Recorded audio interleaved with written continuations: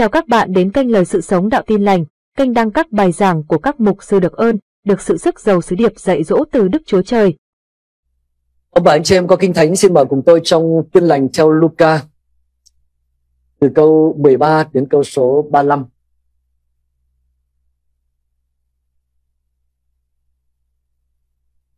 Tôi xin phép được đọc kinh thánh. Tin lành theo Luca chương 24 từ câu 13 đến câu số 35.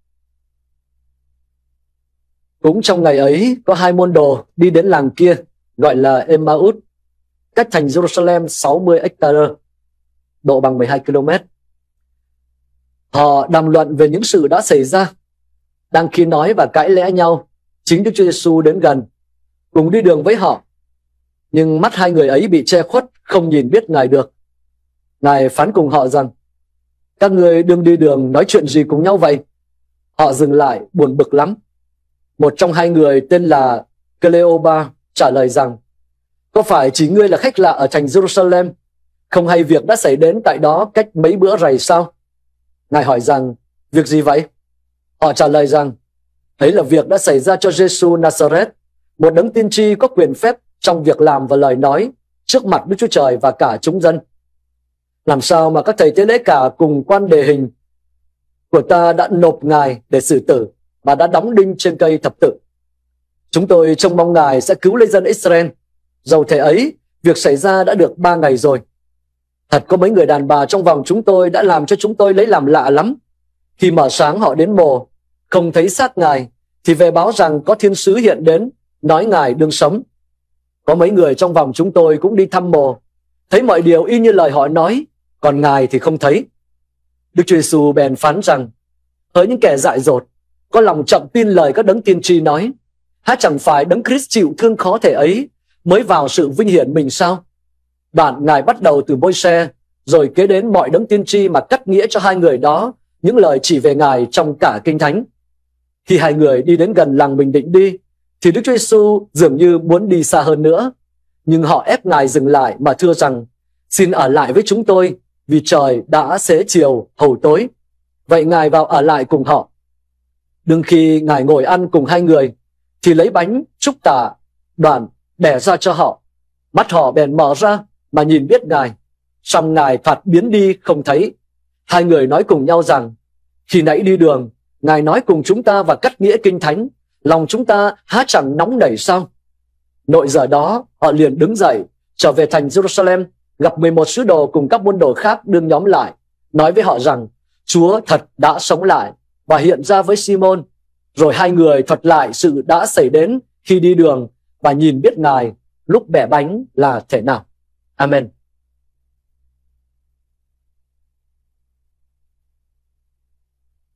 Không biết uh, ông bà anh chị em đã từng bao giờ trải qua những thất vọng trong cuộc sống chưa?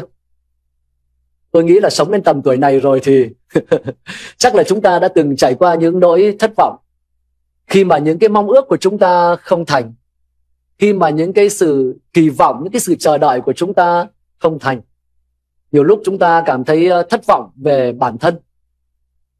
Rồi ờ, đôi khi chúng ta thất vọng về người khác nữa. Chúng ta chờ đợi là người đó uh, sẽ như thế này sẽ như thế kia. Nhưng mà hóa ra lại không phải như vậy. Và chúng ta bị thất vọng về uh, người khác. Thế nhưng từ hồi anh chị em tin chúa đến giờ anh chị em có bao giờ thất vọng về chúa không? Tức là mình trông đợi chúa làm một điều gì đó. Mình mong rằng khi mình tin chúa như vậy thì điều này điều kia sẽ xảy ra với mình. Nhưng uh, thực tế lại không xảy ra như thế. Uh, tôi phải thú thật thế này. Trước khi chia sẻ điều mà có thể cũng hơi ờ, nặng ngày hôm nay đó là tôi cũng công nhận rằng có rất nhiều lời cầu nguyện của mình bây giờ ngoảnh lại đó đã được Chúa nhậm lời. Nếu mà có thời gian thì tôi sẽ kể sau nhưng không phải chủ đề ngày hôm nay cho nên không kể. Nhưng mà thực sự là có rất nhiều những kế hoạch của mình, có rất nhiều những lời cầu nguyện của mình và đã được Chúa nhậm lời. Nhưng mà ngoảnh lại thì tôi cũng phải thành thật mà nói rằng có những cái sự kỳ vọng của mình, có những cái lời cầu nguyện của mình không được nhậm lời. Hồi đầu tôi mới đến với Chúa tôi rất là ngại để đi giao giảng về Chúa cho nên tôi cầu nguyện rằng Chúa ơi, Chúa cho con giọng hát thật hay để cho con hát tôn vinh Chúa. Nhưng mà giọng hát của tôi như thế nào thì cho anh em bây giờ vẫn biết rồi. ngày hôm qua tôi dự nhóm thiếu niên thanh thiếu niên của các bạn trong bảo sơn tôi nghe lỏm thôi. Và có một bạn cầu nguyện là các, các bạn ấy hãy cầu nguyện cho mình. Bạn ấy bây giờ học lớp 12 và hãy cầu nguyện cho mình để mình cao hơn. Tại vì bây giờ bạn ấy mới có mét sáu. Và và trong trong đại lý ít nhất phải được mét bảy năm tất nhiên tôi cầu chúc để điều đó thành. Nhưng mà có thành hay không thì tôi cũng không biết. À, rồi à, à, tôi cũng đã từng có lần cầu nguyện là chuối con đang đi giữa đường thế này thì bị à, bị bị trời có vẻ như cơn rông sắp mưa. Và không biết anh chị em có bao giờ rơi vào cái hoàn cảnh đó chưa? Và mình cầu nguyện là, ôi chúa hôm nay con lại quên áo mưa. Xin chúa giúp cho con để con về với nhà thì trời mới đổ mưa. Và cũng đã có rất nhiều lần tôi được kinh nghiệm như vậy. Đúng là trời nổi rông và mình quên áo mưa. Và đúng là hôm đó về đến nhà bắt đầu mưa mới là như chút nước. Nhưng mà cũng thành thật phải thú, với thú thật với anh chị em rằng có những lần đã xảy ra như vậy và tôi cứ ơi xin chúa cho con về đến nhà hắng mưa. Mưa cứ chút ẩm ẩm mà mình bị ướt như là chuột lột vậy. Và tất nhiên những cái chuyện như vậy thì mình sau đó mình tặc lưỡi ở ừ, thì mưa có mưa một chút thì nó cũng chẳng sao. Thế nhưng mà trong thực tế đôi khi nó còn có những cái chuyện trầm trọng hơn nhiều. Mình đã lập kế hoạch mình sẽ làm điều này điều kia. Mình thậm chí đôi khi còn có động cơ trong sáng nữa cơ là chúa ơi con làm điều này điều kia để rồi sẽ làm cái điều này điều kia cho chúa. Thậm chí là như vậy. Không? Và mình cũng cầu nguyện chứ. Có cầu nguyện không ạ? Cầu nguyện cầu nguyện lắm. Thế và nghe nói rằng là cầu nguyện thì phải có dấu hiệu bình an thì hãng đầu bắt đầu làm và thấy dấu hiệu bình an thật. À, và đoàn như vậy là kế hoạch tốt này. Động cơ có vẻ như trong sáng này. Bình an trong lòng cũng có nhưng thực tế diễn ra trong cuộc sống thất bại. À, vâng cho nên có người nói rằng là à, đôi khi trong một đất nước ấy trong mỗi một đôi khi nó có những cái thời kỳ bình hòa bình. Đồng thời là có những thời kỳ gì ạ? Chiến tranh. Và tạ ơn chúa là nhìn chung là hy vọng là tất nhiên mỗi nước một khác nhau. Hy vọng là hòa bình thì sẽ nhiều hơn chiến tranh thế nhưng mà khi mà tôi nói về cái điều ngày hôm nay á khi mà nói về việc thất vọng với chúa thì đây là đang nói về thời kỳ chiến tranh còn nhìn chung cảm ơn chúa vẫn hòa bình Amen. Tôi hy vọng rằng anh chị em sẽ không nghĩ rằng ngày hôm nay rằng là sau cái bài giảng này là Chúa không bao giờ nhậm lời cầu nguyện, không phải vậy nhá. Chúa nhậm lời cầu nguyện rất nhiều. Amen. Cho nên hãy xin sẽ được, hãy tìm sẽ gặp, hãy gõ cửa cửa sẽ mở ra. Và tôi không nói rằng lúc nào đời sống của mình cũng khô hạn. Cảm ơn Chúa có rất nhiều lúc mà mình trải nghiệm những cái sự ngọt ngào với Chúa. Nhưng mà đôi khi bởi vì chiến tranh thì nó lại cứ để lại cái ký ức sâu đậm hơn là hòa bình. và và có thể nói rằng uh, rất nhiều lúc trong cái lúc mà nó nó nó đen tối đó hả? Thì nhiều khi những lúc chúng ta lại quên hết đi những cái thời kỳ nó nó sáng lạ. Uh, cái điều mà tôi muốn nói ngày hôm nay nó giống như lúc mà môi xe uh, ờ, bị ở trong đồng vắng vậy. Giống như Israel ở trong đồng vắng vậy. Giống như Joseph mà lúc ở trong trong tù vậy. Hay lúc mà Abraham đang mòn mỏi chờ đợi. 75 tuổi rồi 80 tuổi rồi 90 tuổi rồi mà cái lời hứa vẫn chưa thành sự thật và tôi hy vọng rằng những cái điều mà chúng ta nói ngày hôm nay khi mà chúng ta có những sự thất vọng khi mà chúng ta có sự trông đợi mà nó không thành như vậy đó thì cái đoạn kinh thánh ngày hôm nay thực sự là một sự khích lệ cho chúng ta bởi vì đó cũng là một thực tế của cuộc sống và thực tế của đức tin của chúng ta trong hành trình bước theo và phục vụ Chúa. Vâng, bởi vì hai con người mà ngày hôm nay trong đoạn kinh thánh mà chúng ta vừa đọc quả thật là họ đã kinh nghiệm một sự thất vọng sau khi họ đã theo Chúa một thời gian. Họ theo Chúa Giêsu, họ tin rằng, ồ, Chúa Giêsu thực sự là một người mà có quyền phép, đúng không ạ? Có sức mạnh cả trong lời nói lẫn trong việc làm. Và họ có những sự kỳ vọng nhất định khi mà theo Chúa Giêsu. Và cụ thể cái kỳ vọng của họ ở đây khi họ theo Chúa Giêsu đó là gì ạ? Chúng tôi, trong câu ờ, 21 chúng tôi trông mong Ngài sẽ giải cứu lấy dân Israel. Như vậy họ họ đi theo Chúa Giêsu với một cái sự kỳ vọng như thế nào? Là Chúa Giêsu sẽ giải cứu dân Israel và giải cứu chính họ khỏi nô lệ. Họ, ngài sẽ giải cứu Israel. Và đúng là nhìn lại về quá khứ của Israel, nhìn lại quá khứ trong cựu ước, thì họ có những lý do nhất định để họ trông đợi Chúa làm điều đó. Chẳng phải Chúa đã giải cứu Israel ngày xưa sao? Chẳng phải là ngài đã khiến cho, làm phép lạ dẫn Israel qua biển đỏ để trở thành một dân tộc sao? Chẳng phải là ngài đã từng cho giấy David lên để cho David có một cái cho, cho Israel có một thời kỳ hoàng kim sao hẳn họ họ có lý do và thậm chí là còn có những lời hứa nữa trong các sách tiên tri rằng Chúa Ngài sẽ phục hồi lại đất nước Israel. Vậy mà mấy trăm năm đã trôi qua. Mấy trăm năm đã trôi qua Israel vẫn luôn luôn là một đất nước bị nô lệ. Và thậm chí trước đó, trước cái thời kỳ này có 400 năm được gọi là 400 năm im lặng. Khi Chúa không giấy lên một tiên tri nào cả. Dường như các từng trời im lặng và đất nước của họ vẫn trải qua rất nhiều những sự lầm than. Và bây giờ khi Chúa Giêsu giấy lệnh, Họ nhận biết rằng Giêsu này là một đấng tiên tri và họ trông đợi rằng là Ngài sẽ dùng, ngài, Chúa Giêsu sẽ giải cứu lấy Israel. Và họ theo Chúa Giêsu với một cái sự kỳ vọng như thế. Và chắc chắn rồi có rất nhiều điều xác chứng cho sự kỳ vọng của họ. Chúa làm phép lạ này, Chúa chữa lành bệnh này, số lượng người đi theo Chúa đã càng ngày càng gia tăng. Tuy nhiên sau đó tình hình có vẻ diễn diễn ra không như là họ mường tượng. Để rồi, cuối ba năm chức vụ của Chúa Giêsu ngài lên thành Jerusalem ngài bị bắt. Và lần này ngài lại không làm phép lạ gì cả. Và ngài chấp nhận để ngài bị bắt, chấp nhận để ngài bị tra tấn. Và cuối cùng, ngài bị đóng đinh trên thập tự giá. Và cùng với cái chết của Chúa Giêsu cái niềm hy vọng của họ tiêu tan. Họ mất sự hy vọng. Họ mất sự hy vọng họ và tất cả các môn đồ khác đều đã đánh mất cái niềm hy vọng. Đều đã đánh mất cái niềm hy vọng. Và chán quá. Cho nên họ làm sao? Bây giờ biết làm gì?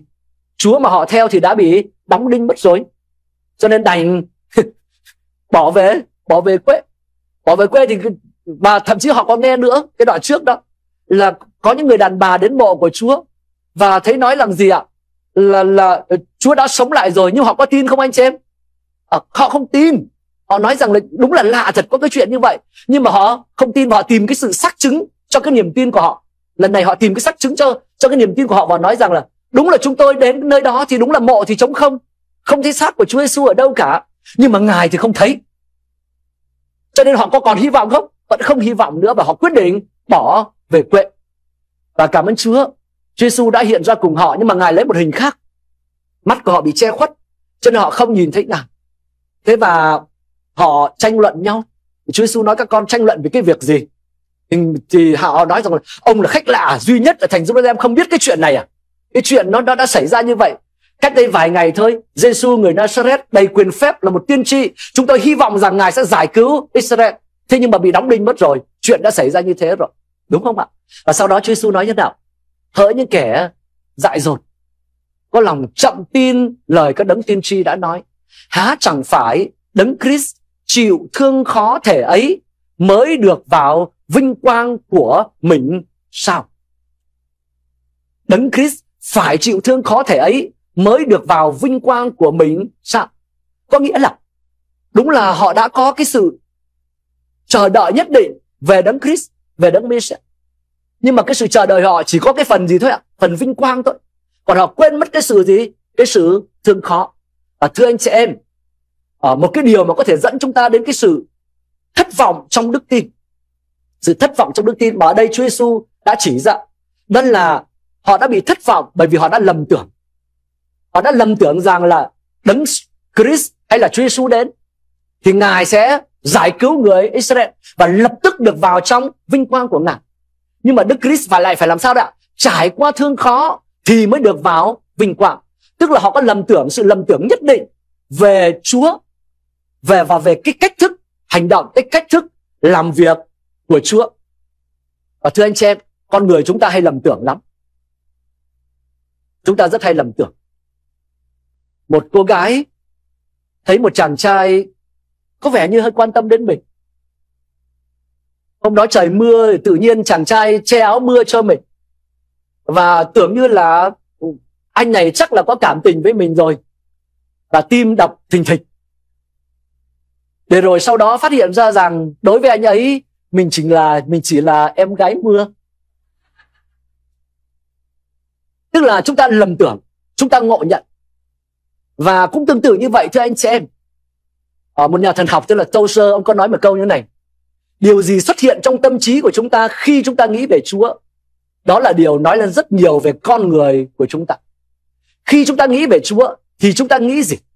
Ngài là đấng như thế nào? Và có một trong những tội mà Chúa cấm loài người chúng ta đó là cấm thờ thần tượng. Và thậm, cấm thờ thần, thần tượng có nghĩa là gì? Là chúng ta khắc họa lên một cái vị thần như vậy. Và chúng ta nghĩ rằng là vị thần này thì phải như thế. Paulo ở Athens ông nói rằng là chớ tưởng rằng Đức Chúa Trời ừ, cần chúng ta hầu việc gì? Hay là giống như là những cái tượng mà do con người tạo dựng ra. Tức là con người chúng ta lầm tưởng lầm tưởng về ngài. Tôi biết chúng ta là cơ đốc nhân thì chúng ta không có thờ tượng này tượng kia. Nhưng mà một điều mà tôi để ý thấy trong chính mình là rất nhiều khi mình cứ nghĩ rằng là chúa thì thế này, chúa thì thế kia, chúa thì hẳn là phải hành động như thế này, Chúa thì hẳn phải hành động như thế kia. Nhưng mà quan trọng hơn là Chúa hành động như thế nào đó lại phụ thuộc vào ai đó phụ thuộc vào bản chất và chương trình của Chúa. Hallelujah. Để cho chúng ta không ngộ nhận, không lầm tưởng về bản chất và về cách thức hành động của Đức Chúa Trời. Tại vì nếu không thưa ông bà anh chị em chúng ta chúng ta có thể rơi vào sự thờ thần tượng mà chúng ta không biết. Tức là chúng ta nghĩ rằng Chúa của chúng ta phải là như thế Chúa của chúng ta phải là như thế chúng ta tưởng là Chúa là như thế. Chúng ta tưởng rằng là Chúa sẽ hành động và hành động trong thời điểm này. Và tất nhiên đối với chúng ta thì càng nhanh càng tốt. Các môn đồ này cũng giống hệt thôi thậm chí là sau khi Chúa Giêsu phục sinh rồi thưa anh chị em trong sách công vụ cho chúng ta biết đó, lúc mà Chúa Giêsu phục sinh rồi các môn đồ vẫn lại hỏi lại một câu, có phải đến lúc này ngài sẽ phục lại đất nước Israel không? Và Chúa Giêsu phải nói rằng kỳ hạn và thời giờ ấy, cái đấy việc của cha, các con không nên biết. Còn việc của các con cần phải làm gì? Mặc lấy quyền phép của thánh linh và giao giảng thiên lệnh. còn cái việc lúc nào phục hồi lại Israel, đó là việc của cha, các con chẳng cần chẳng cần biết. Tức là, ngài là ai? Cái kế hoạch của ngài như thế nào? Chương trình của ngài như thế nào? Chúng ta rất cần để cầu xin Chúa để không lầm tưởng. Amen. Không lầm tưởng về ngài, không lầm tưởng về kế hoạch của ngài, không lầm tưởng về cách cách thức hành động của ngài. Tại vì nếu không, chúng ta có thể bị ngộ nhận và chúng ta sẽ bị thất vọng với Chúa. Hay là với Chúa mà chúng ta đang tưởng tượng tưởng tượng ra. Thế vậy, làm thế nào để chúng ta biết là Chúa là đấng như thế nào? Làm thế nào để chúng ta biết là Chúa sẽ hành động như thế nào? Dạ vì cảm ơn Chúa, anh chị em thấy là Chúa Giêsu đã dùng cách thức gì để hướng dẫn cho hai môn đồ này ở đây? À, tôi ờ, cảm thấy rất là lạ với Chúa Giêsu nếu mà là tôi mà hai môn đồ này đang nghi ngờ thì tôi sẽ dùng một cái cách nào đó khác ấn tượng hơn để chứng tỏ cho hai môn đồ này rằng ngài đã sống lại. Đúng không?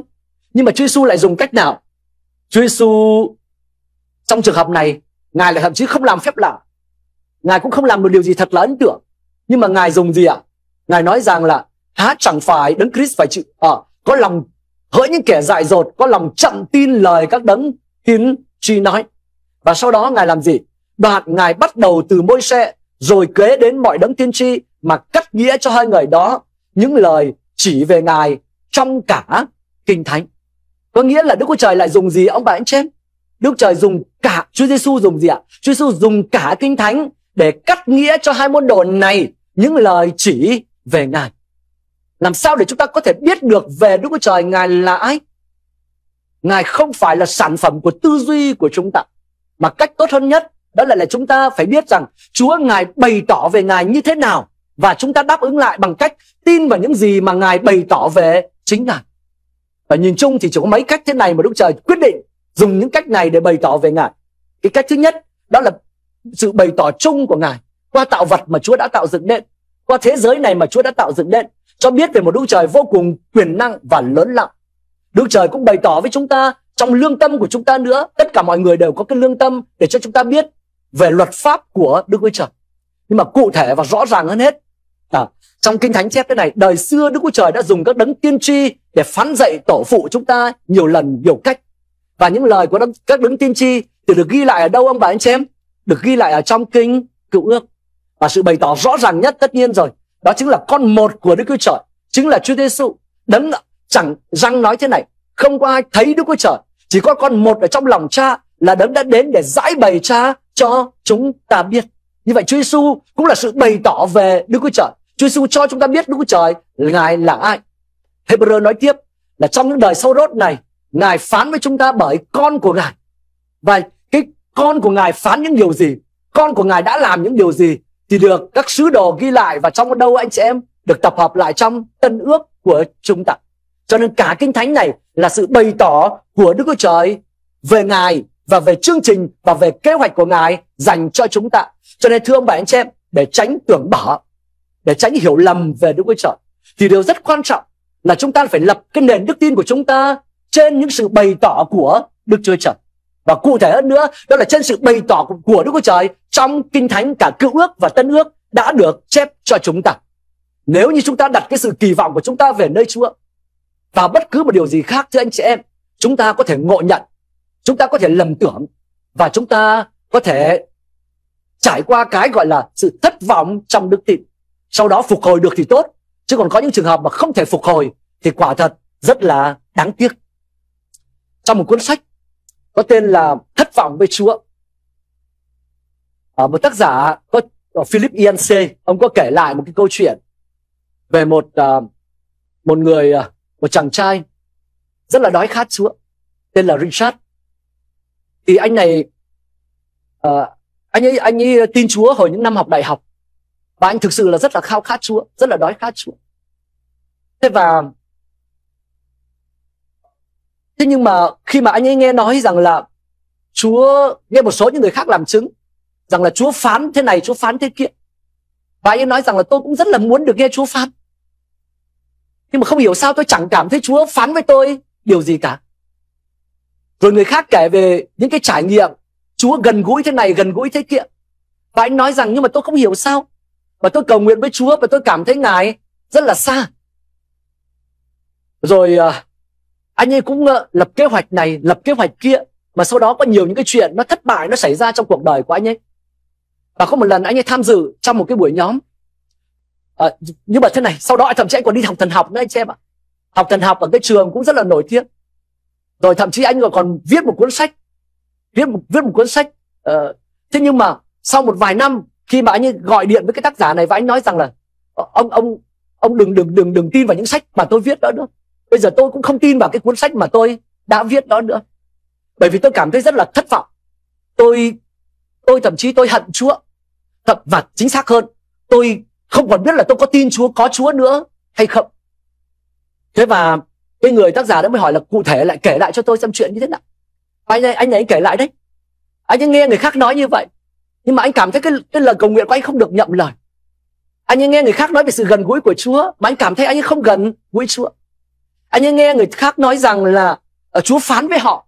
Nhưng mà anh ấy cảm thấy rằng Chúa chẳng phán với anh ấy điều gì cả. Cho nên anh cảm thấy rất là thất vọng. Thế và uh, cộng với lại chuyện hôn nhân có vấn đề cộng với chuyện công việc làm ăn có vấn đề mà cầu nguyện mà không được đáp lời anh cảm thấy hoàn cảnh không không anh của anh ấy không thay đổi. Và cuối cùng anh cảm thấy rất là thất vọng với Chúa. Và anh có nảy ra ba câu hỏi thế này. Chúa liệu có công bằng không? Khi mà đời có nhiều bất công thế này, con cũng nỗ lực đấy chứ, con cũng cố gắng đấy chứ. Rồi gì ạ? À? Chúa hay là ngài ẩn giấu? Chúa hay là ngài im lặng? Và những cái câu hỏi đó nó đẩy ra trong tâm trí của ông, của anh ta. Và cuối cùng thì anh ta mới nhớ lại, và sau đó anh ta bỏ Chúa. Nhưng mà có một cái sau này anh ta có viết tiếp cho cái tác giả này. Và anh nói là anh có nhớ lại cái lần mà thực ra cái khiến mà anh thất vọng nhất. Gâu, nguyên nhân sâu xa lại không phải chỉ là những cái lần về sau này ở trong trường thần học các thứ vân vân. Mà anh nhớ lại là có một lần, anh cứ cố gắng tìm kiếm như vậy, tìm kiếm tiếng phán của Chúa, tìm kiếm sự hận, sự hiện diện ngọt ngào của Chúa, tìm kiếm tất cả những điều như vậy, tìm kiếm bằng chứng bằng chứng của Chúa. Nhưng mà nhưng mà cảm thấy không có. Và cuối cùng thì có lần anh ta tham dự một cái buổi cầu nguyện chữa lành. Và trong cái buổi cầu nguyện đó có rất nhiều phép lạ xảy ra. Có người có một người bị bị uh, ung thư ngồi trên xe lăn. Nhưng mà lên làm chứng bản thân cái người đó là bác sĩ. Và lên làm chứng lại là gì ạ? Là tôi tôi tôi cảm nhận ngày hôm nay tôi được chữa lành. Và bây giờ tôi có thể đứng và đi lại được. Và anh nói rằng ô đúng rồi. Cái bằng chứng của mình tìm kiếm đã chắc chắn đây rồi. Một phép lạ sờ sờ như vậy. Và sau khoảng 2 tuần anh ta nhớ tên của cái người bác sĩ này. Thì sau khoảng 2 tuần khi bắt đầu có sự nghi ngờ trở lại thì anh ta lấy điện thoại anh ta gọi điện cho cái vị bác sĩ kia để hỏi xem tình hình như thế nào, để giống như là cái xác chứng lại cho cái đức tin của anh ta. Và khi anh ta gọi lại thì anh ta gặp người vợ của cái vị bác sĩ kia. Và vợ của người bác sĩ đó trả lời rằng, chồng tôi đã qua đời. Và đó là lúc mà đức tin của anh ta suy sụp. Cho nên, thưa anh chị em, chúng ta không thể dựa đức tin của chúng ta chỉ trên những sự trải nghiệm hay là dựa trên những sự trải nghiệm của người khác chúng ta cần đặt đặt đức tin của mình ở trên lời kinh thánh. Hallelujah. Amen. Cần đặt đặt đức tin của mình ở trên lời trên lời của ngài. Cần đặt đặt đức tin của chúng ta ở trên lời của Đức Chúa Trời, bởi vì lời của Đức Trời là đã thép luyện. Tất cả những cái điều khác là bổ trợ cho chúng ta.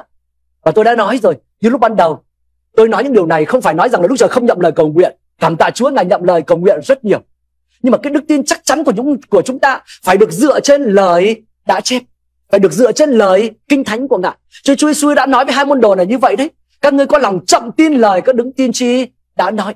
Và Chúa đã cắt nghĩa những lời chỉ về Ngài ở trong cả kinh thánh. Cho nên để tránh bị ngộ nhận về đức tin đó thưa anh chị em thì kể cả tin kinh thánh rồi, một điều cũng rất là quan trọng. Chúng ta phải nhận biết được đâu là lời hứa của Đức Chúa Trời, và đâu không phải là lời hứa của Đức Chúa Trời tại vì những lời hứa của Đức Trời thì Đức Trời có trách nhiệm làm thành nhưng mà những lời, nhưng mà Đức Trời không có trách nhiệm làm thành, những lời mà chúng ta tưởng là lời hứa của Ngài. Hallelujah. Amen. Cho nên những người giảng đạo có một trách nhiệm rất là lớn lao. Tôi biết là ai trong chúng ta cũng vẫn động viên tinh thần khích lệ của những người nghe. Nhưng một điều rất là quan trọng là chúng ta không được hứa quá cái điều những lời đã chép. Để những lời hứa mà chúng ta đưa ra là những lời hứa có cơ sở của lời của Chúa. Amen. Tại vì trong kinh thánh này quả thật có rất nhiều lời hứa. Có những lời hứa mà chắc chắn được ứng nghiệm, không phụ thuộc vào phản ứng của chúng ta. Chẳng hạn Chúa Giêsu hứa rằng Ngài sẽ quay trở lại. Anh chị em có tin hay không tin cũng sẽ có một lúc Chúa quay trở lại. Nhưng mà có những lời hứa là cần cái sự cộng tác, cần cái đức tin đáp ứng của chúng ta. Và chúng ta cần phải đáp ứng bằng đức tin và đáp ứng bằng sự cộng tác của chúng ta. Amen. Lại có những phần trong Kinh Thánh mà nó không phải là lời hứa của Đức Chúa Trời. Tôi lấy ví dụ, tôi về sau khi mà tìm hiểu hơn và thấy điều này và cũng đúng như vậy, mình thấy ngày xưa mình lầm tưởng. Tôi lấy ví dụ nhé, sách châm ngôn chẳng hạn. Sách châm ngôn là những cái lời quan sát khôn ngoan. Tức là nó có thể đúng, nhìn chung là nó đúng, nhưng mà nhưng mà không một trăm phần trăm nó không phải là lời hứa. Được không ạ? Cho nên đúng là hãy dạy cho trẻ thơ con đường nó phải theo. Hầu cho về già nó cũng không quên cái con đường đó. Và nhìn chung là như vậy nhìn chung nếu như chúng ta dạy dỗ cho con cái của chúng ta con đường nó phải theo từ lúc còn nhỏ, thì thậm chí về sau này nó cũng sẽ tiếp tục đi theo cái con đường thiên kính.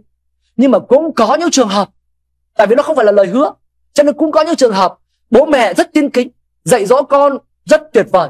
Nhưng mà những đứa con lại vẫn không đi theo đường lối của Chúa. Thì trong trường hợp đó chúng ta có thể chút chút chút lên cùng Chúa những cái sự trông mong của chúng ta những cái ao ước những khao khát của chúng ta nhưng nếu là lời hứa thì chúng ta đòi hỏi lời hứa được ứng nghiệm còn nếu không thì chúng ta nói với Chúa rằng con trông mong, con chờ đợi điều đó. Chúa ơi hãy đáp lời trông mong, đáp lời chờ đợi của con. Amen. Tôi lấy một ví dụ nhé. John Piper là một cái người ông giảng đạo rất là tin kính. Ông có mấy con trai lận. Trong đó có con trai của ông là mục sư. Nhưng mà trong đó có một con trai của ông ấy cùng bố mẹ như vậy. Thì lại vô thần. Trong khi bố có khoảng một triệu người theo dõi trên Twitter. Thì con cũng gần triệu. Trong khi bố nói về Chúa, thì con nói chống Chúa. John Piper chắc một số người đã nghe tên. Ờ, hy vọng rằng, tất nhiên hy vọng rằng sẽ có một lúc đứa con kia sẽ quay trở lại. Amen. Đứa con đó sẽ quay trở lại. Nhưng ý tôi nói là gì ạ? Quay trở lại với chúng ta ở đây. Đó là có những cái cái được gọi là là là sự khôn ngoan của kinh thánh. Nhìn chung nó sẽ đúng, nhưng mà có những trường hợp không, chưa hẳn phải là như vậy. Để để chúng ta để chúng ta biết rằng đâu là lời hứa còn đâu không phải là lời hứa. Cho nên chẳng hạn những cái câu chuyện thật lại trong kinh thánh, thì đó là những câu chuyện thật lại như vậy. Chứ chưa hẳn là một lời hứa. Chưa hẳn là một lời hứa. Thế Führer chẳng hạn đi bộ trên mặt nước, đó là một câu chuyện thực sự như vậy. Führer đã đi bộ trên mặt nước. Nhưng mà chúng ta không thể nói là ô Führer đi bộ trên mặt nước thì Chúa cũng có thể cho tôi đi bộ trên mặt nước. Nào, nhảy xuống sông Hồng. Đúng không? Tức là cái đấy là dạng câu câu chuyện ở trong ở trong kinh thánh. Trong lời cầu nguyện của Gia-bê chẳng hạn lời cầu nguyện của Gia-bê đó là một câu chuyện thật lại Chúa quả thật đã làm cái điều đó cho Gia-bê nhưng đó không phải là lời hứa. Đó không phải là lời hứa. Còn cái gì thực sự là lời hứa thì chúng ta giao giảng nó như là lời hứa. Và đặt lòng tin trọn vẹn của chúng ta vào lời hứa đó. Và chiến đấu để lời hứa đó sẽ được ứng nghiệm. Còn nếu nó không là lời hứa, chúng ta có thể tất nhiên có quyền được giải bày cái sự trông mong của chúng ta. Cho nên đi đường mà gặp mưa, tôi sẽ vẫn tiếp tục cầu nguyện. Chúa ơi, con mong rằng đến lúc con về nhà, trời hãng mưa to nhưng mà tôi không thể đòi hỏi là chúa ơi phải dừng dừng dừng amen. Hallelujah. Nhưng mà cảm ơn Chúa Chúa nhân từ. Hallelujah. Chúa cũng có thể giúp chúng ta nếu như chúng ta với một tấm lòng chân thật, giúp giải ảo cho chúng ta. Thậm chí là giải ảo cả đức tin của chúng ta. Để chúng ta tin đúng. Amen. Và tin đúng thì nó sẽ hành vi đúng. Dạ. và trong trường hợp này đúng là Chúa đã giúp giải ảo cho hai môn độ và thưa anh chị em, cái đoạn kinh thánh mà chúng ta vừa đọc ngày hôm nay là thực ra là trong một loạt những cái hoạt cảnh khác nhau. Chúa phục sinh. Và nói thật là khi Chúa Giêsu bị đóng đinh trên thập tự giá, hy vọng của tất cả các môn đồ đều tiêu tan. Nhưng mà Chúa Giêsu phục sinh và ngài đã phục hồi lại đức tin cho các môn đồ. Và trong trường hợp này đây, ngài đã dùng kinh thánh để phục hồi lại đức tin cho hai môn đồ này và sau đó hai người này đã quay trở lại cùng với các sứ đồ và nói rằng Chúa Giêsu quả thật đã sống lại rồi. Đúng không ạ? Và sau đó uh, đang trò chuyện các môn đồ thì thậm chí chính Chúa Giêsu hiện ra cùng các môn đồ nữa. Và sau đó Chúa Giêsu đã nói với uh, các môn đồ đó như thế nào? À, Chúa Giêsu nói với các môn đồ rằng các con sẽ đi giao giảng cho người ta sự ăn năn cho các dân tộc. Có nghĩa là thế nào anh chị em? Bây giờ cái đức tin của họ à, cái sự trông cậy cái niềm hy vọng của họ Chúa lại có cho họ một cái niềm trông cậy sâu xa, sâu hơn, rộng hơn và lâu dài hơn. Amen. Chúa, họ chỉ trông cậy là Chúa sẽ giải cứu Israel. Nhưng chương trình của Chúa lại còn cứu cả các dân tộc. Chúa chỉ trông cậy, họ chỉ trông cậy Chúa là cho Israel được mấy năm, bao nhiêu năm đó được thời kỳ hòa bình và thịnh vượng. Nhưng mà Chúa còn muốn cho cả gì đấy? Chúa còn muốn cho không chỉ cho Israel, mà cho các dân nữa, sự sống đời đời đời bất diệt. Hallelujah. Amen. À, và họ, họ chỉ muốn là giải giải quyết cái hoàn cảnh bên ngoài. Nhưng mà Chúa lại bảo với họ rằng hãy đi giao giảng cho người ta sự ăn ăn năn để được để được tha tội. Và ăn năn là thay đổi cái cách nghĩ. Để bây giờ trở nên nghĩ đúng về Đức Chúa Trời và sống tương ứng với đường lối của Đức Chúa Trời. Amen, Hallelujah. Cho nên không phải là Chúa làm chúng ta thất vọng đâu, mà chỉ có điều là Chúa phá đi những cái kỳ vọng không đúng của chúng ta. Để thay thế vào đó cái niềm hy vọng thật và cái hy vọng thật của Chúa ban cho chúng ta chắc chắn rồi luôn luôn tốt theo tốt hơn những cái kỳ vọng có thể có ở bên trong chúng ta. Hallelujah. Amen. Vâng, và tôi muốn kết thúc bằng uh, cái trường hợp của Job. Cho anh chị em biết Job rồi.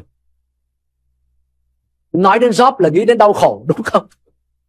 Là Job nghĩ đến Job là nghĩ đến sự chịu khổ. Dạ. Cho anh chị em đều biết, còn trừ hợp trường hợp mà ai chưa biết thì tôi thuật lại như thế này. Job là một con người rất là tin kính Chúa. Kính sợ Đức Chúa Trời và lánh khỏi điều ác. Nhưng mà sau đó có một chuyện nó xảy ra.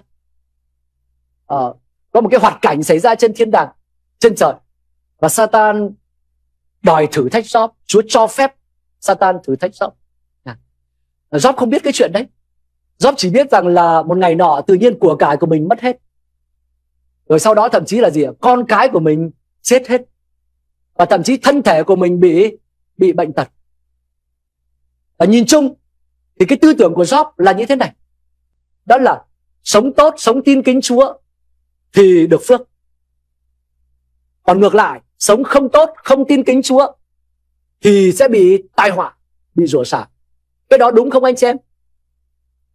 Nhìn chung là đúng. Yeah. đúng không ạ? Nói chung là thi thiên cũng hứa như vậy, châm ngôn cũng nói như thế. Thậm chí sách phục truyền cũng nói như vậy. Cách phục truyền cũng nói như vậy là nếu như các con nghe theo những điều răn này thì này là những phước hạnh sẽ giáng trên các con. Và nếu như các con không nghe thì này là những sự rủa xả sẽ đi theo các con. Cho cái đó nhìn chung là là đúng. Thế, thế và nhưng mà bây giờ Job tin kính Chúa không? Tin kính Chúa. Có muốn kính có, có kính sợ Chúa không? Kính sợ Chúa. Thế nhưng mà bây giờ chuyện nó xảy ra như vậy. Và Job có câu hỏi là tại sao chuyện này lại xảy ra? Tại sao điều đau khổ lại xảy ra với cái người dường như không có lỗi gì trong trường hợp này? Tại sao lại như vậy? Thế và chúng ta biết câu chuyện đó rồi. Những người bạn của Job, nhìn chung cũng có một cái suy nghĩ giống như Job. Đó là gì? Sống tốt, sống tin kính Chúa, được phước. Sống không tốt, không tin kính Chúa, không kính sợ Chúa, thì gặp gặp hái những những đau đớn. Thế và bây giờ, ông Job Ngọc đang đau đớn. Họ suy ngược lại thôi, đúng không? À thế thì chứng tỏ là gì? Đau đớn như thế này mất mát như thế này thì hẳn là phải có cái tội lỗi gì đó. Thì mới bị như thế này đúng không ạ? Tức là ông tức là phần đa như thế kia mà mà thậm chí họ còn tin tuyệt đối vào cái điều đó đó. Đức chúa trời có công chính không anh chị em? À, ai đây tin đức trời công chính? Yeah, chắc chắn rồi. Và nếu mà đức trời là công chính thì có đúng là ngài phải thưởng cho người làm thiện và phạt cái người làm ác không? Đúng không? Đúng đúng đúng đúng. Thế mà ông này đang bị gì đây? Dấu hiệu đang bị phạt. Thì chứng tỏ phải làm sao? Làm ác và cuối cùng họ buộc tội buộc tội, kết tội và nói Job ấy tốt nhất là ông ăn năn đi. Ông khai ra đi, hồi trước chứng tỏ giả hình. Chứ còn bây giờ phải phải khai đi nhưng mà Job cứ cương quyết không. Tôi không như vậy. Tôi không như thế. Thậm chí Job còn có nói là, anh em cáo buộc tôi à? Cáo buộc tội lỗi tôi à? Cứ viết đi, viết cáo trạng đi. Tôi sẽ đeo nó như cái vương miện để tôi đến trước mặt Chúa. Anh em thấy một người phải nói là cực kỳ cực kỳ dũng mãnh trong cái niềm tin về cái lối sống của mình và lòng kính sợ Chúa của mình và nhưng mà đau khổ hoàn đau khổ. Và cuối cùng anh chị em mà đọc cái sách shop thì biết rồi. Tôi đọc tôi cũng thấy uh, tôi đọc cái sách này là trong cái bối cảnh mà cái thời tôi xin phép kể lại một chút. Cái sách này nó rất nó rất là kỷ niệm với tôi. Đó là cái hồi mà tôi mới tin Chúa Giêsu xong. Xong là muốn ở lại trường kinh thánh ở, ở lại học xong đại học rồi thì muốn ở lại Nga để tiếp tục học trường kinh thánh. Thế mà hồi thì ở lại thì hộ chiếu nó hết hết hạn mất rồi. Cho bây giờ người ta bày cho một cái mưu bày một cái kế hoạch thế này đó là đi xuống Ukraine để làm một cái giấy mời. Trường kinh thánh sẽ làm cái giấy mời quay ngược trở lại. Thì sẽ được vào vào nga hợp pháp. Và hộ chiếu sẽ được hợp pháp. Và u nghe hay. Thế là tôi với một cậu bạn nữa quyết định là đi xuống đi xuống uh, ukraine. Yeah. Thế nhưng vấn đề là đi xuống ukraine giấy mời của trường kinh thánh lời sống bên moscow là lên đến sứ quán đó một cái giấy mời là không hợp lệ. Giấy mời phải có của bộ ngoại giao thế mà mình đâu có bộ ngoại giao đâu. Đúng không ạ? Thế là tôi nhờ, chúng tôi nhờ cả hội thánh, hơn nghìn người ngũ tuần cầu nguyện. Tôi cũng kiêng ăn và cầu nguyện. Và tôi nói, chúa ơi, bây giờ và chúng, cuối cùng chúng tôi ở lại nhờ nhà của một cái nhà người nga đó, bà cực nghèo. Ông bà nghèo lắm, bà chồng làm thợ mỏ. Bà ấy thì cũng rất là nghèo. Bây giờ bà rất là quý người việt nam. Mà bây giờ anh chị em tưởng tượng nhà người ta có 7 người con. Bây giờ nuôi thêm ba thằng việt nam, báo cô hả?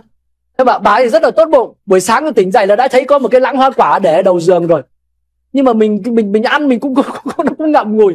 Thế vậy sau đó bây giờ về thì không về được việc làm thì không có. Thế là cuối cùng thì um, cái ông chồng ấy ông chồng là thợ mỏ có lần ông gặp riêng ba người chúng tôi. Và ông nói rằng là tôi biết là các cậu như này nhưng mà các cậu phải biết cái hoàn cảnh của tôi. Bà bà bà vợ thì rất là tuyệt vời cứ muốn là gọi là gọi là nâng đỡ động viên khích lệ thế nhưng mà ông chồng ông nói thẳng như vậy vì mình mới mặt à? Đúng không ạ? Và tôi nhớ tôi đã kiêng ăn cầu nguyện. Và tôi nói với chúa này, chúa ơi chúa ơi, con ở lại vì cái lý do gì? Con ở lại chỉ là bởi vì muốn học trường kinh thánh thôi. Chứ còn thực ra là con chẳng muốn ở lại nga làm cái gì cả. Nhưng mà con ở lại vì con muốn học trường kinh thánh để cho biết chúa rõ hơn. Và cái chuyện này đối với chúa có khó không? Cái chuyện mà cho tôi được vào để có được cái visa có khó không? Dễ chúa có yêu, về mặt lý thuyết chúa có yêu tôi không? Nói thật với anh chị em nhé, khi mà anh chị em biết rằng là chúa là đấng vô cùng yêu thương, lại vô cùng toàn năng, thì anh chị em sẽ có rất nhiều kỳ vọng về chúa. Đúng không? Có rất nhiều kỳ vọng về chúa, chứ còn nếu mà chúa không yêu thương thì tôi chả kỳ vọng gì mấy. Và không quyền năng thì tôi sẽ chả kỳ vọng gì mấy. Nhưng bây giờ lại vừa tin rằng chúa yêu thương, chăm sóc đến từng chi tiết của cuộc đời chúng ta. Rồi chúa lại gì đấy ạ? Toàn năng, không có việc gì khó quá đối với ngài. Thì chắc chắn là chúng ta có kỳ vọng về ngài chứ. Và tôi nói như vậy, chúa ơi con có muốn gì đâu con chỉ muốn ở lại để học trường kinh thánh thôi. Kết quả thế nào anh chị em biết không? Cả một năm đó vẫn không có visa.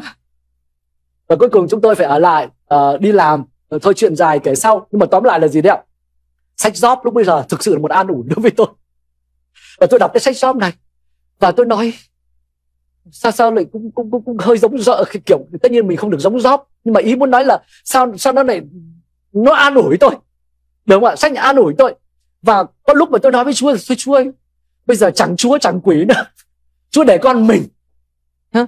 bây giờ quỷ thì tất nhiên mình sợ mình không muốn rồi. Nhưng mà thấy có vẻ như theo chúa mà thế này con mới theo chúa được có vài tháng thôi. Mà có xin chúa để được ở lại đi học trường kinh thánh thôi mà không được. Thôi thôi chẳng chúa chẳng quỷ để con sống một mình. Tôi đã cầu nguyện như vậy đấy. Cho nên là tôi, cháu cũng hiểu một chút đấy ông giáo ạ đến lúc lên thiên đàng thì tất nhiên sẽ gặp kỹ hơn của tất nhiên chuyện của cháu nó là chuyện nhỏ so với cụ Job. Nhưng mà quay trở lại nhé cho nên là khi mà đọc sách Job thì tôi rất là tò mò. Đến khi mà Chúa trả lời Job thì Chúa sẽ trả lời như thế nào? Hả? Đúng không? Job có câu hỏi với Chúa đúng không? Con phạm tội gì? Chúa chỉ ra đi. Thì, thì Chúa trả lời Job thì Chúa sẽ trả lời như thế nào? Nhưng mà anh chị em cứ đọc sách phần cuối những cái chương cuối của sách Job mà xem. Tôi đọc và tôi thấy ơ Chúa chả trả lời gì Job cả. Kiểu, kiểu như không trả lời. Chúa lại bảo là Chúa bảo Job này cái kẻ này là ai mà lại dùng những lời ngu muội để để làm che mờ cái mưu định của ta? Hả? À, ngươi muốn muốn đặt câu hỏi đúng không? Rồi thắt lưng như dõng sĩ đi để ta hỏi và ngươi sẽ trả lời. Khi ta dựng lên nền trái đất ấy, thì ngươi ở đâu? Nếu ngươi biết thì ngươi hãy nói đi. Câu đầu tiên là Job chịu rồi. Đúng không và sau đó Chúa nói một tràng nói tóm lại là Chúa dạy về thiên văn. Chúa dạy về địa lý, Chúa dạy về sinh học. Chúa nói rằng đấy, các loài như thế này này các con con có xử được nó không? Đó, cái loài này nó khôn ngoan này, cái loài kia nó ngu nè. Đúng không? Và Chúa dạy cho, nói tóm lại là Job ngồi yên để cho Chúa dạy về thiên văn, về địa lý, về sinh học. Nó không hiểu sao. Cho nên tôi cảm thấy không thỏa mãn. Nhưng mà không hiểu sao Job ông lại thỏa mãn. Đúng không? Và sau khi Chúa nói điều đó xong á, thì thì Job nói này đúng là con đã nói rồi, nhưng mà con ngu muội quá. Và con đã chót. Trước đây lỗ tai của con nghe đồn về Chúa. Nhưng bây giờ con đã thấy Chúa và con ăn năn ở trong cho bụi. Hallelujah. Như vậy là Đức Chúa Trời đang dùng cái gì nhỉ? Để nói với Job về chương trình của Ngài. Lúc bây giờ chưa có kinh thánh. Job có lẽ là cùng thời với Abraham thì chưa có kinh cựu ước. Nhưng mà Đức Trời đã dùng cái gì để nói với Job? Đức Trời đã dùng mặc khải phổ quát trong thần học tức là cái sự bày tỏ chung của Ngài là Chúa đã đấng tể trị trên thế giới vũ trụ này, trên các loài động vật, sinh vật, tất cả mọi thứ khác nhau. Và dường như Chúa đang nói với Job rằng, Job ơi, Job, con có xử lý được cái hội đó không? Không. Thế nhưng mà ta vẫn cai quản cái thế giới này, để các ngôi sao, để mặt trời, mặt trăng vẫn vận hành theo cái quy luật của nó, để những cái loài sinh vật kia vẫn sống theo cái quy luật của nó. Ta đang cai quản cái thế giới thiên văn và sinh học này thì con hãy yên tâm là con của ta cũng đang tể trị và cai quản trên thế giới đạo đức và Job đã tin nạt. nhưng anh chị em biết không trong cái lúc đấu tranh trong rằng co của Job này thì Job có nói một câu rất hay như thế này trong sách Job chương chương 19 uh, ờ, Job nói như thế này Job nói có thể chiếu luôn giúp à. còn tôi tôi biết rằng đấng cứu chuộc tôi vẫn sống đến lúc cuối cùng ngài sẽ đứng trên đất. Sau khi ra tôi, tức xác thịt này đã bị tan nát. Bây giờ ngoài xác thịt, tôi sẽ xem thấy. Tránh tôi sẽ thấy ngài. Mắt tôi sẽ nhìn xem ngài, chứ chẳng phải kẻ khác. Lòng tôi hao mòn trong mình tôi. Có nghĩa là gì? Trong cái khoảng khắc này, thưa anh chị em, cái đức tin ở của Job ở nơi Chúa không chỉ phụ thuộc vào những cái phước hạnh mà ông nhìn thấy được trong cuộc đời này nữa. Và cái đức tin của Job được kéo căng ra thậm chí ông còn tin rằng địa đấng cứu chuộc của tôi chắc chắn vẫn sống và cho đến ngày cuối cùng ngài sẽ đứng trên đất và thậm chí ngoài xác thịt tôi cũng sẽ thấy ngài Hallelujah. Tức là cái niềm hy vọng, cái niềm trông cậy của Job ở nơi Chúa nó không còn chỉ bị giới hạn bởi những gì mắt ông thấy, cái gì ông trải nghiệm ở trong cuộc đời này nữa. Cũng giống như Chúa Giêsu đã phục hồi đức tin cho các môn đồ của Ngài. Để các môn đồ của Ngài trông đợi Chúa không phải chỉ vì những gì thấy được, những gì tạm thời mà còn kéo dài hơn cả thế nữa. Tại vì thưa anh chị em, nếu như chúng ta chỉ trông cậy Chúa trong những việc đời này mà thôi thì trong tất cả mọi người chúng ta là những kẻ khốn nạn hơn hết. Đó là lời nói của sứ đồ Phaolô. Cho nên Chúa cảm ơn Chúa là đấng phục hồi hy vọng cho chúng ta. Chúa vẫn luôn luôn là đáng là đấng mà những kẻ trông cậy Ngài sẽ không bao giờ hổ thẹn. Nhưng mà liệu nhiều lúc Chúa sẽ giải ảo những cái kỳ vọng không đúng đắn ở trong chúng ta. Cho nên hãy đặt đức tin của mình trên lời chắc chắn của Đức Chúa Trời. Hãy hiểu lời của Ngài cho thật đúng để đặt đức tin cho thật đúng. Hallelujah. Bởi vì quả thật Chúa vẫn luôn luôn luôn là đấng đáng trông cậy. Và những lời hứa thực sự là lời hứa của Ngài ấy, thì chắc chắn sẽ không bao giờ đổi rời. Xin mời tất cả cùng đứng dậy.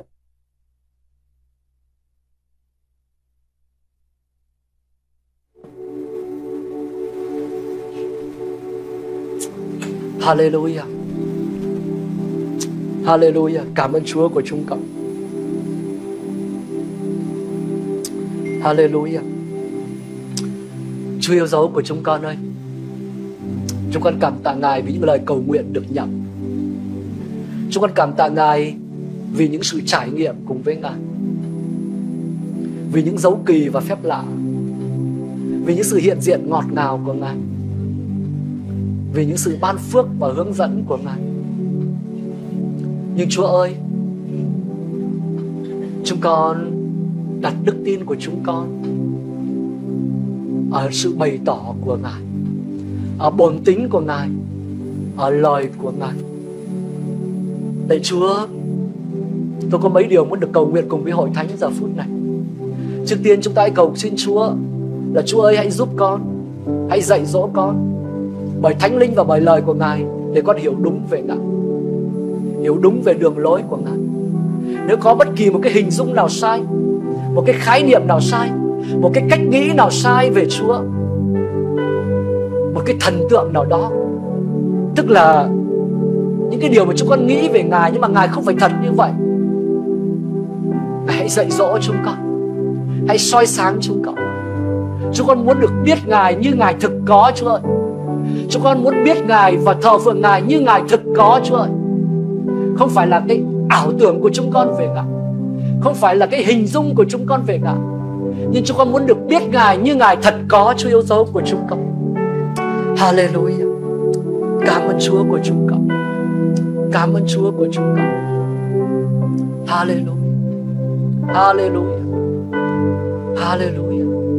Chúa ơi, và chúng con cũng cầu nguyện nữa trong hành trình chúng con theo chúa chúng con cảm ơn chúa vì sẽ có sẽ có những lúc chúng con kinh nghiệm đồng cỏ xanh tươi. Sẽ có những lúc chúng con kinh nghiệm những mé nước bình tĩnh. Nhưng mà cũng sẽ có những lúc mà chúng con dường như trải qua chúng bóng chết.